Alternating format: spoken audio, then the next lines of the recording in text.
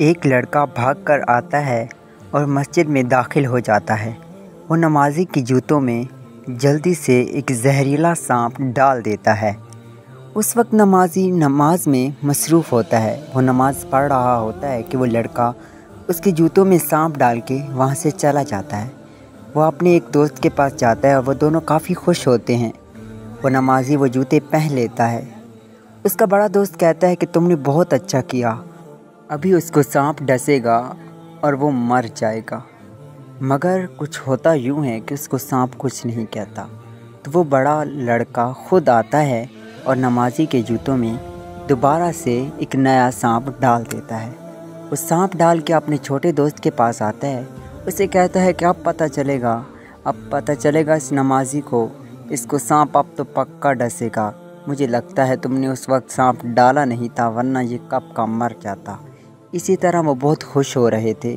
इधर वो नमाजी अल्लाह को याद कर रहा था, नमाज़ पढ़ रहा था। वो अल्लाह के घर में आया हुआ था, मगर उसको सांप कुछ नहीं कह रहा था। इस बार वो नमाजी फिर सही सलामत घर चला जाता है। अगले दिन वो लड़का बहुत गुस्से के साथ एक नया जहरीला सांप लेके आता है। कहता है कि अब नहीं बचेगा ये। अब जो सांप मैंने डाला है, वो ज़रूर इसको डसेगा। मैं देखता हूँ कि ये कैसे बचता है। वो नमाजी रोज़ की तरह नमाज़ अदा करके दुआ मांग रहा होता है। जब उसकी दुआ मुकम्मल हो जाती है तो वो वहाँ से उठकर चला जाता है। वो उस जगह आता है जहाँ उसके जूते पड़े थे। उसे नहीं पता था कि कोई मेरे साथ इतनी बड़ी दुश्मनी कर रहा है। मेरे जूतों के अंदर सांप डाला हुआ है। मगर वो अल्लाह पे तवक्ल रख के वो जूते पहन के वहाँ से चला जाता है। वो लड़का अपने दोस्त के पास आता है और कहता है कि अब नहीं बचेगा। अब तो मैंने खुद अपने हाथों से डाला है। मुझे यकीन है इस बार उसे सांप डस लेगा। वो काफ़ी खुश होते हैं कि हम उसे खुश नहीं देख सकते। वो सुकून में रहे ये हमसे बर्दाश्त नहीं होता। इसीलिए हमने ये जो प्लान किया है, ये काम करेगा और उसको सांप डसेगा, वो मर जाएगा। जब देखते हैं कि वो सही सलामत आ रहा होता है वो कहते हैं, अरे यार, ये क्या हो गया? उसका छोटा दोस्त कहता है हाँ देखा, मैंने कहा ना, इसको सांप कुछ नहीं कह रहा. वो नमाजी सही सलामत वहाँ से गुज़रता है। जब ये दोनों देखते हैं तो कहते हैं, अरे यार, मुझे कुछ समझ नहीं आ रहा कि ये क्या हो रहा है। चलो उससे चल के पूछते हैं कि आखिर सांप क्यों नहीं डस रहा तुमको?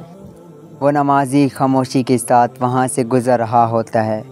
वो दोनों आते हैं उसके पास, कहते हैं, रुक जाइए। हम तीन दिन से आपके जूते के अंदर सांप डाल के आते कि आपको वो डसे और आप मर जाएँ। लेकिन आप सही सलामत तीन दिन हो गए हैं। हम देख रहे हैं आपको कुछ नहीं हो रहा। वो नमाजी कहता है, क्या? अरे, क्या तुम लोग मेरे जूते में सांप डालते हो? वो कहते हैं हमसे बर्दाश्त नहीं हुआ कि आप इतने खुश हैं और आपकी ज़िंदगी इतनी पुरसकून है। इसीलिए हमने सोचा कि आपका सुकून बर्बाद कर दें।